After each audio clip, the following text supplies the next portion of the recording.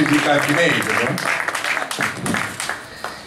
La mia idea è quella di creare una fattoria didattica, un'azienda agrituristica che offra oltre alle solite attività, delle attività didattiche, quindi con base educativa e formativa per i ragazzi e le scuole, anche un percorso di tiro con l'arco da campagna, che è una specialità del tiro con l'arco, sono simulazioni di caccia, solo che invece di tirare a animali veri si tira sagome in tridimensione sparsa nel territorio e che si mischiano un po' con la morfologia dell'ambiente.